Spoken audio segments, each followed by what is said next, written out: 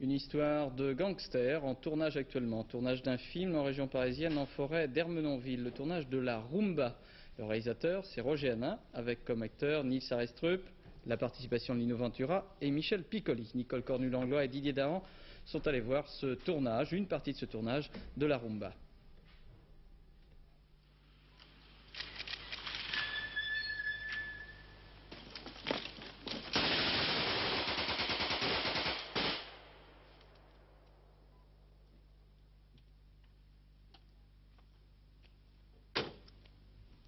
Spectacle insolite sur une calme route de forêt en plein été.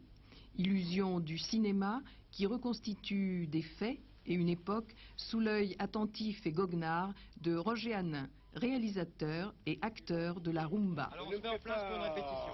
Il ne le fait pas Jean Pantin, euh, Bonnie and Clyde. Hein. Utilisation habile de l'hémoglobine pour transformer des vivants en victimes. Il s'agit de, des frères euh, Roselli que j'ai rebaptisé Toselli. Et c'est la séquence que vous voyez là, c'est leur assassinat par les, par les hommes de la cagoule. Enfin, le film, c'est autre chose qu'un fait divers euh, euh, politique. C'est surtout une réflexion sur la dualité entre la frivolité d'une époque, c'est 38, 39 avant la guerre, avec toutes les danses de l'époque, le black bottom, le boléro, le Boston, le, ragtime, le jazz New Orleans qui arrivait, et en même temps cette guerre qui arrivait et que des gens n'ont pas, pas vu affleurer. Les protagonistes, Michel Piccoli, Nils Arestrup, Corinne Touzet, attendent, comme il arrive souvent au cinéma. Il faut suivre les conseils du réalisateur,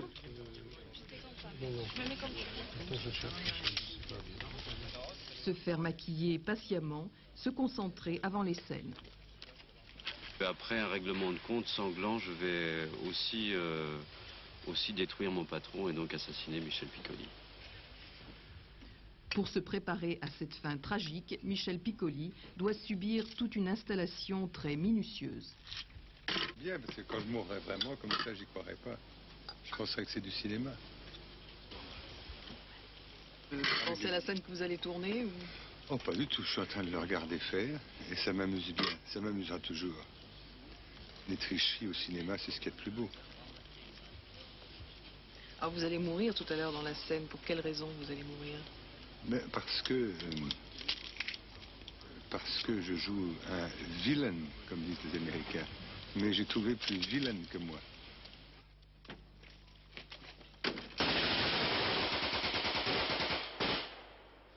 Et c'est tout un art de bien mourir au cinéma.